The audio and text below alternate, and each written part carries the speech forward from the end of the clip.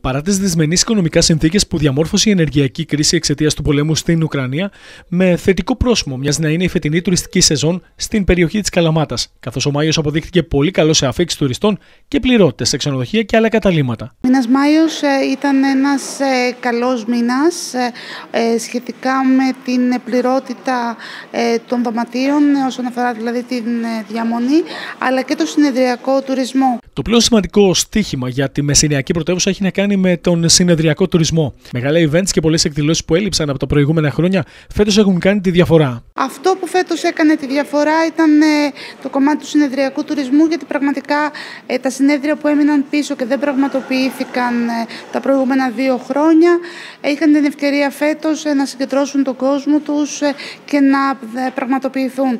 Αυτό σημαίνει λοιπόν ότι παραδοσιακά ο Μάιος και ο Ιούνιος που είναι μήνα συνεδρίων, όπως και ο Σεπτέμβριος και ο Οκτώβριος, σε εμάς εδώ στο ξενοδοχείο Elite σημειώνουν και συμβάλλουν σε πολύ μεγάλες πληρότητες ε, όσον αφορά τη διαμονή και βέβαια αυτό κατ' επέκταση ε, είναι ένα πολύ μεγάλο όφελος και για την υπόλοιπη πόλη, ε, για τα υπόλοιπα καταστήματα. Οι σύνεδροι ε, πραγματοποιούν ε, εκδρομές, πραγματοποιούν ε, περιηγήσεις στην πόλη.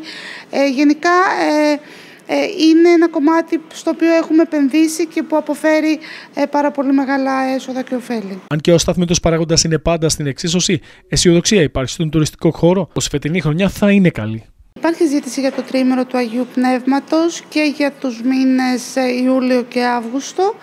Ε, δεν ε, μπορούμε να πούμε ότι αυτή τη στιγμή έχουμε ήδη ε, πάρα πολλές κρατήσεις, αλλά ειδικά για τον, ε, για τον Αύγουστο το ενδιαφέρον είναι έντονο. Νομίζουμε ότι θα κυλήσει εκτός απρόπτου ε, ως ένα καλό καλοκαίρι.